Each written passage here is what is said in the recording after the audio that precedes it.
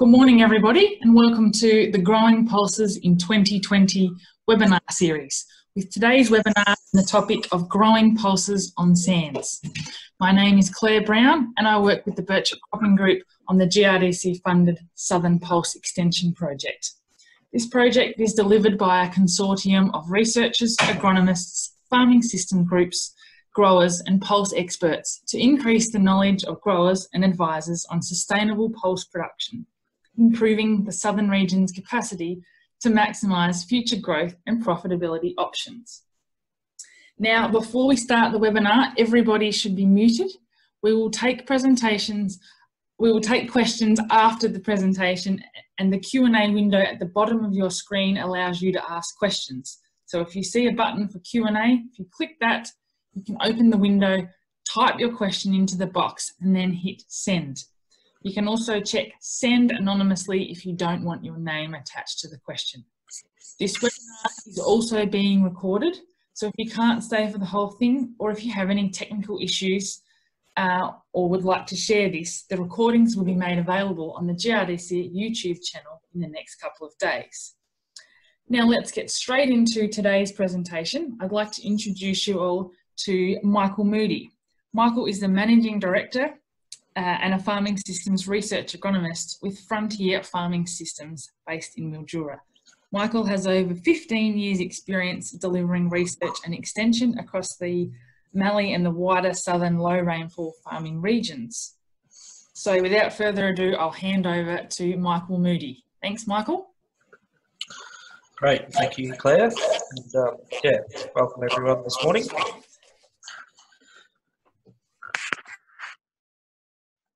So just to set the scene a little bit, um, just wanted to talk about um, expanding pulses in the in the Mallee and uh, I guess the, the wider low rainfall area. So here I've got some data um, from a roadside survey um, transect that used to be run by the Department of Agriculture. Um, and we decided to, in 2017, have a uh, redo this survey following the same transect that had previously been done. The survey hadn't been done for um, a good 10 years, and um, yeah, so we knew there'd been some big changes. We wanted to quantify what those changes were. So you can see um, between 2006 and 2017, 2017 being the black bars, uh, on this chart over here, um, this huge increase in uh, the amount of, of the number of paddocks sown to legume and oilseed crops. And basically what's been happening over uh, that decade period, we've seen a big decline in pasture area and especially a big decline in fallow area and um, those uh, paddocks being reallocated um, to legume and oilseed um, crops. So moving from a, around about 7% uh, of paddocks in 2006 to about quarter of paddocks or 25% in 2017. If we break that data out down by crop, so uh, what did we see in 2017 um, in crop type? Um, we're now seeing lentils um, in particular um, being um, the third largest crop um, in, in the Mallee behind wheat and barley, but still considerable areas of things like field peas, vetch and, uh, and lupins as well. So I guess that's raising some challenges in that um, pulses are expanding into these low rainfall regions. But one of the one of the issues isn't just low rainfall, but uh, it's actually um, the soil types that uh, these pulses are encountering as well. So uh, this is some data from um, a trial site that we ran at Loxton.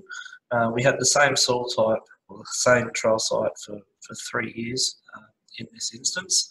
And you can see here that um, what we call our flat soil, which was a, a loamy, red loamy soil, so you know, considered a good soil for growing pulses, compared to a deep sandy soil, uh, which is deep challenging for pulses, there's a huge difference in, in productivity uh, over that three-year period. So this is averaged across three years. But you can see um, the difference between the flat and the sand for field pea was 35%, uh, vetch 18%, lentils 63% difference in yield, between what could be achieved on the flat and what was, was seen on the sand. Lupins, obviously, we know they're better adapted to sand, so the, the difference was much smaller. But then faba bean and also chickpea, only about 50% of the yield being achieved on the sand uh, is what uh, achieve on the better soil type. And both of these soils uh, were in the same paddock and located only about 200 metres uh, apart. So a big change in productivity potential uh, over quite a small distance. So some of the things we've been um, looking at in response to that is um, you know, what what are the agronomic uh, management factors that uh, that we might be able to look at to to close this gap between sand and also um, what was achieved on the flat. So one of the common um, issues with growing pulses on the sand is, is managing our Group C pre-emergent herbicides. So um, we ran a trial at Pinnaroo this year in the South Australian uh, Mallee, and we looked at a range of uh, pre-emergent herbicides. Um, we looked at rates uh, and also how we applied them. So whether we applied them as an off before sowing, so as an incorporated by sowing treatment, or a post-sowing pre-emergent treatment. And here's a, um, some imagery that we took of um, uh, the trial site. This is one treatment, which is the herbicide Diuron. Um, and you can see here, as we go uh, from left to right, we're increasing rates. Um, and uh, within a rate, we've got an IBS versus PSPE. So this picture was taken, or this imagery was taken in, the middle of August 2019. And you can see here a big impact um, as we increase the rate uh, on our crop. Um, from diuron application, um, but there is some differences between IBS and PSPE. So if you look at uh, what happened on in final grain yield in those treatments, so here on the left we've got our Diuron treatment. Um, so uh, if we increase the rate, obviously there was a rate response um, for this um, treatment. So keeping rates uh, relatively low was important. But importantly, you can see a big response from IBS or PSPE. So commonly, um, this herbicide might be applied in these paddocks at around 400 grams per hectare uh, on this type of soil type. So we can make that rate um, quite safe by applying IBS compared to the nil treatment. Uh, but a second we uh, increase rates or increase or change our um, strategy to PSPE, we're suffering uh, much more damage. Uh, for metribuzin, um, all rates uh, were damaging uh, relative to the nil. Interestingly, last year this didn't increase as the rate increased, so um, basically you got damage from applying the metribuzin or not, and that may be due to uh, pretty limited rainfall um, throughout the year. But again, you can see this safety factor between IBS and PSPE. Uh, if you look at simazine now, simazine uh, increased damage as you increase rate, uh, but there wasn't much of a difference whether you applied it IBS or PSPE. Um, and Terbyne, um, similar to uh, in a way that uh, could be uh, much safer um, as we applied um, in an IBS situation, but highly highly damaging to the crop uh, in a PSPE situation. So one thing is to uh, currently is to, to really think about you know maintaining those low rates, maybe selecting um, less uh, less risk herbicides uh, over others, and, and definitely keeping that IBS system in place. Um, but in the future, would like to think that there's um, you know technology that's going to come through in a varietal sense. So this is a bit of a, a demonstration um, that was run by Ag Victoria at um, um, in 2018.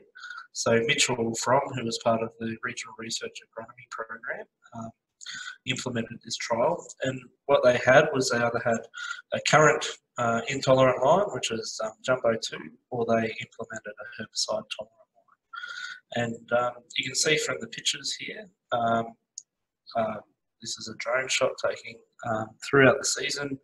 Obviously, um, the growth in the nil plots, which are right in the centre, uh, were quite good. Um, but the second, uh, we move to the right and apply uh, metribuzin either at a high rate or a low rate.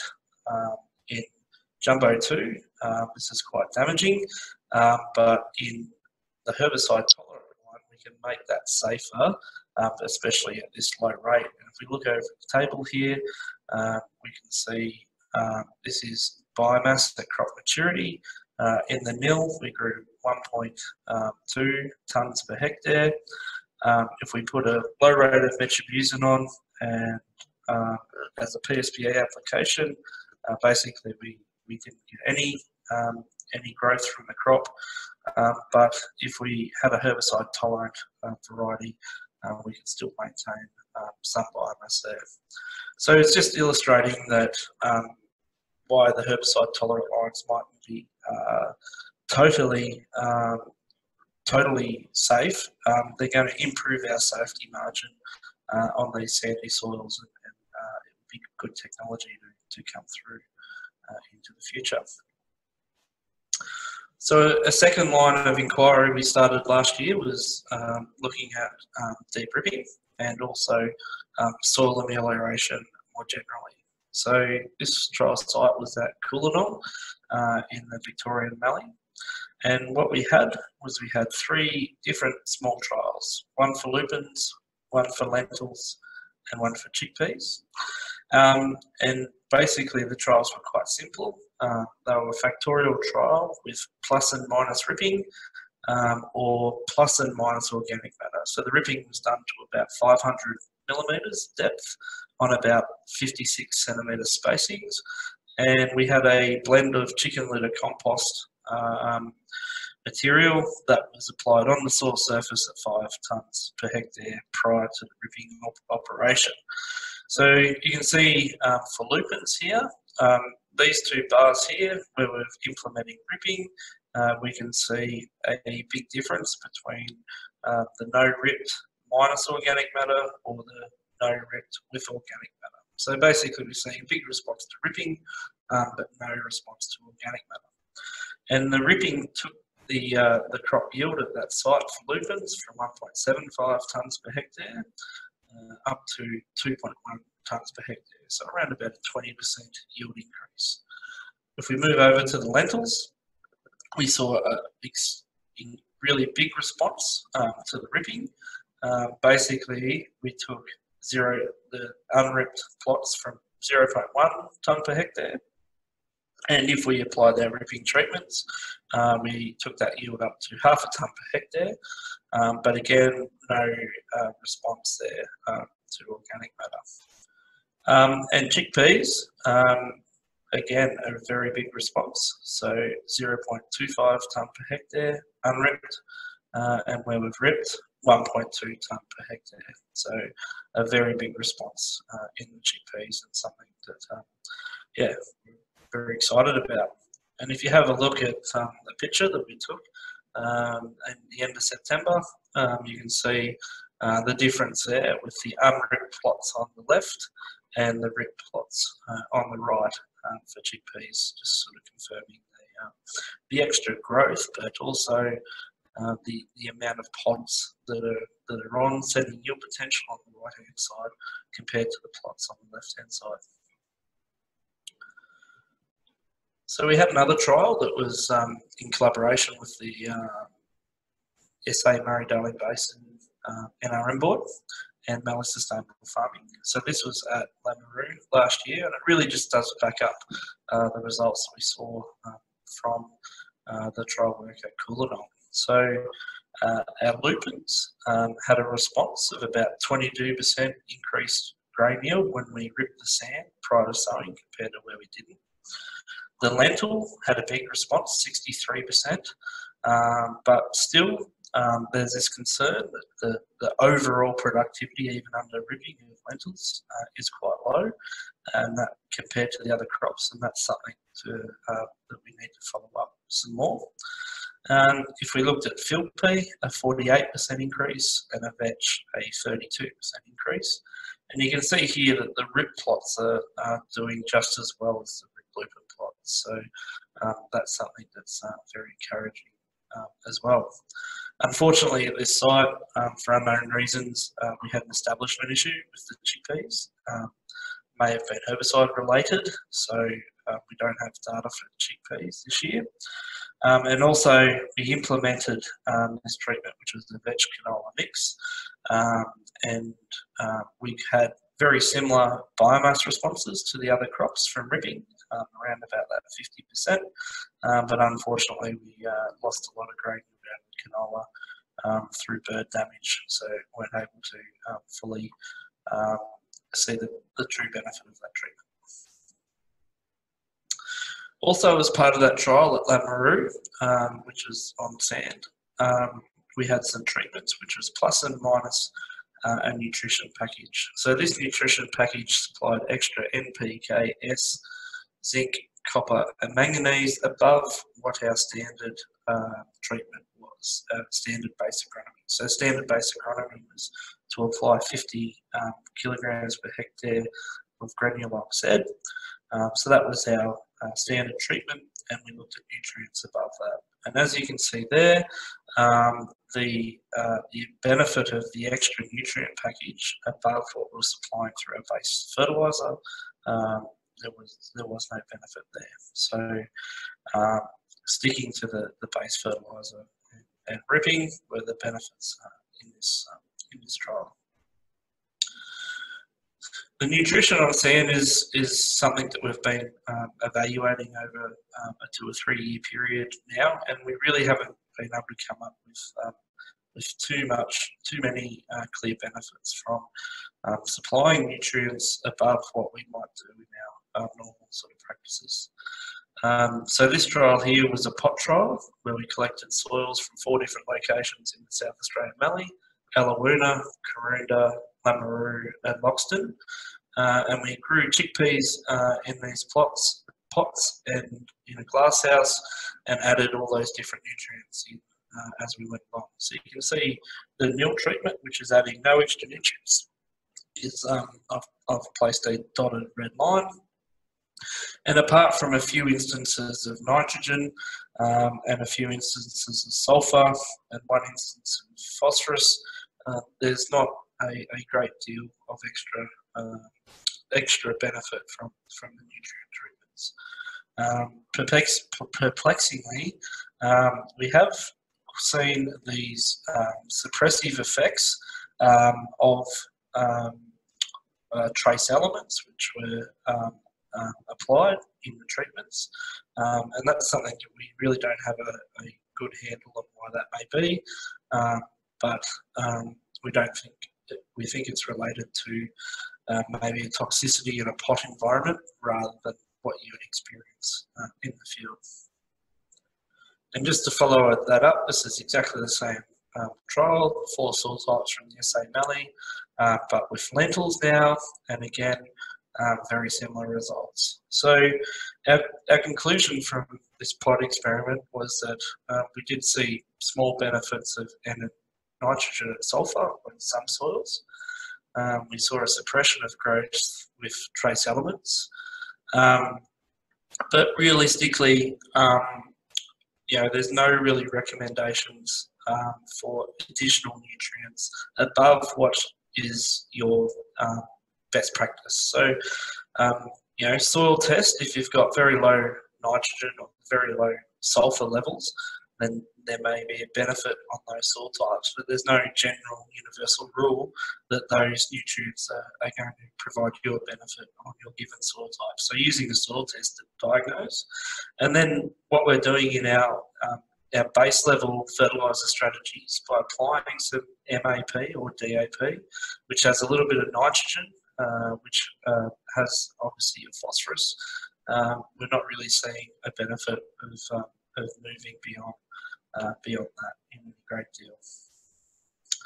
And again, nutrition on sand, again, um, a trial that um, has been run in conjunction with um, Agriculture Victoria at Oyen, just backing up um, what we've uh, what we've seen um, on, on other sites and other projects relating to nutrition. So here we had um, two trial sites.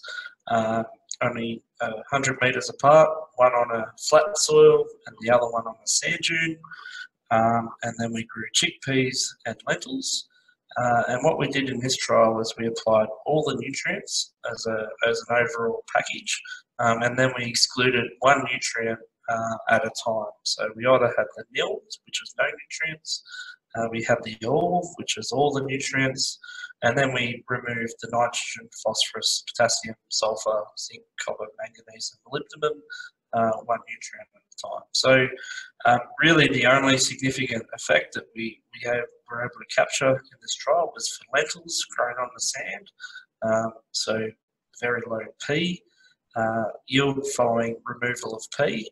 Um, but, you know, the, the nil treatment or even the all treatment was, was only going 0.2 of a tonne per hectare. So the trial uh, was a very low yielding trial that year as well. So again, um, nothing here to, to suggest uh, other than maintaining uh, best practice, which is to soil test, understand where nutrient limitations may be, um, and or um, you know sticking to those base level fertiliser strategies of, of, MAP or DAP. Uh, going above and beyond that, there's um, not a whole lot of evidence there to, say that there's um, going to be a response on these sandy soils. So that's um, that's a quick summary of um, you know some of those topics. Um, where we're heading to here, I think um, focusing more on the deep ripping and soil amelioration approaches. Obviously, um, look to be some low hanging fruit there. Um, there's some operational issues about that in making sure that we uh, we can uh, effectively seed into those and establish a crop under uh, those modified soil types. But one approach we're really um, you know would really like to tackle as well is is thinking about the stacked approach. So what can we do if we uh, if we find some uh, maybe you know be able to deep rip, uh, be able to use varieties that are herbicide tolerant, uh, and also maybe look at varieties that um, have extra um, capacity to grow on sandy soils, such as traits such as uh, higher vigour, is some of the work that we'll uh, be concentrating on this year. So. so any questions, I suppose? Thank you very much, Michael. Um, if you'd like to ask Michael a question, please the button down the bottom of your screen and you can type in a question there.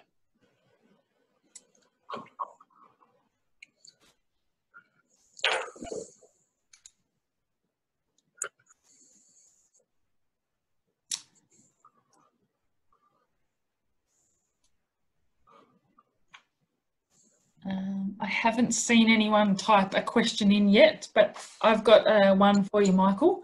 Just on the, on the deep ripping side of things, that showed some good results there. Is there an optimum sort of depth that you suggest people undertake the deep, deep ripping at to maximise the pulses? Um, we haven't looked at depth in pulses, we've looked in depth in cereal crops. Um, the, the answer to that is that you can diagnose it with a device called a penetrometer. So um, it's really the best way is to, to, to use the penetrometer um, and that will tell you where the restrictive layer is occurring. Now in these sandy soils, we're typically finding that the penetrometer readings are higher, somewhere between 300 millimeters and 500 30 to 50 centimeters. So um, you, you want to be able to find where that um, where that resistance is, and you want to be able to target your ripping so that you um, you uh, make sure that you uh, at least work to that depth or below.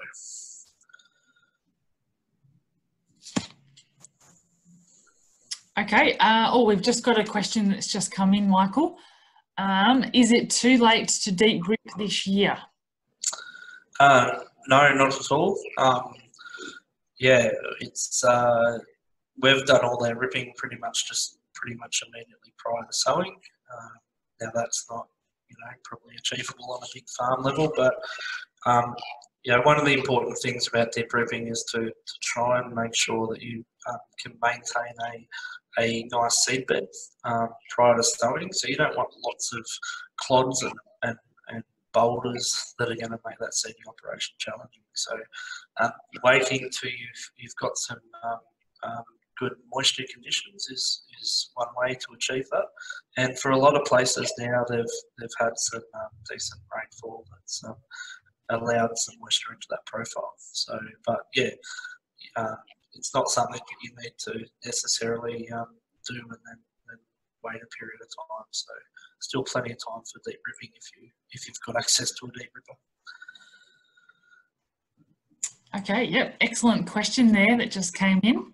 Uh, we've still got four minutes. If anyone wants else wants, sorry, three minutes, should I say? Got, if anyone else wants to type another question, go for it.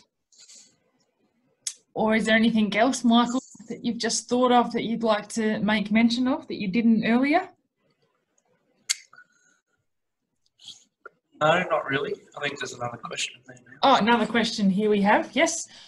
Why should you consider sowing a pulse after ripping compared to a cereal? Are cereals more responsive?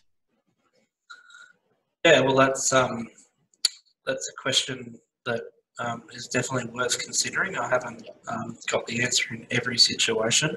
Um, no, I wouldn't say cereals are more responsive. In actual fact, you know, our biggest response last year came from uh, what we saw with um, with the chickpeas.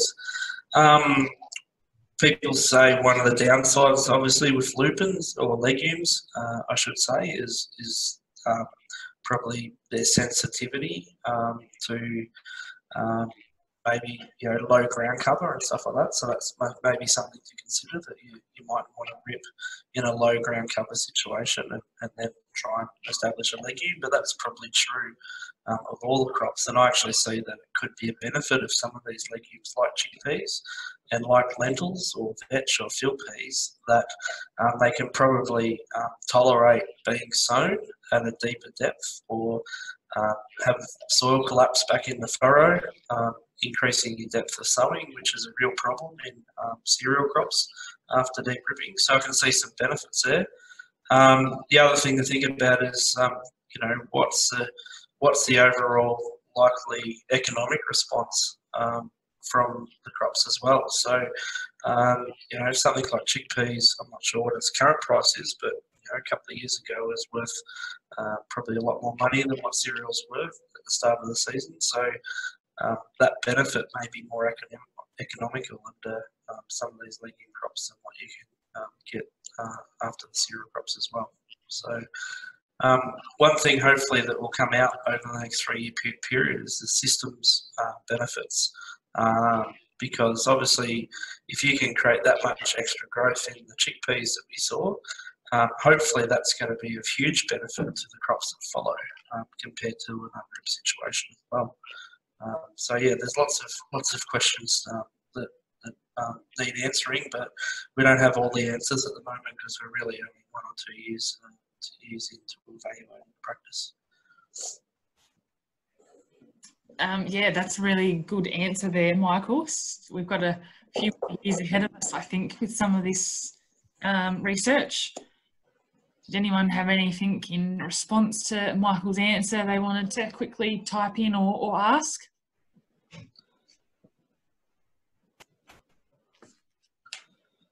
One thing I would say about ripping is being very careful with um, your pre-emergent herbicide application, um, even probably to the point of considering it with legumes that, um, that you, you almost go without um, because one, one thing that we can see is yeah the extra um, the, the, issues at seeding, extra depth, um, furrow collapse and soil movement. Um, so I can see that being quite detrimental to, to legumes if um, uh, if that was to occur after after ripping. So being very careful of how you apply uh, herbicides, uh, especially uh, in rip situations, would be, be a tip. Yep, excellent. Very good tip there, Michael. And uh, to finish off on, so if anyone's looking for further information on pulses, GRDC Grow Notes are a very comprehensive resource. Also, the GRDC Southern Pulse Extension Project has a number of activities occurring during 2020 to bring you the latest pulse information. We have a network of discussion groups across Victoria and South Australia for existing and new pulse growers. If you have any other suggestions or requests, things that you would like to learn about pulses, please let myself know. My best email contact is claire, C-L-A-I-R-E, at bcg.org.au. Keep an eye out for future webinars occurring during March. Thank you very much, Michael, for a great presentation. Once you all leave this webinar, you will be directed to a screen with a quick survey link. It has five questions. It should take you no more than a minute just to see how you found today. If you fill it out, that will be very much appreciated and will help us to continue to bring you Pulse webinars. If you would like to be kept in the loop of when these webinars occur again, please email myself and I can add you to the distribution list. Thank you much everyone and thank you Michael.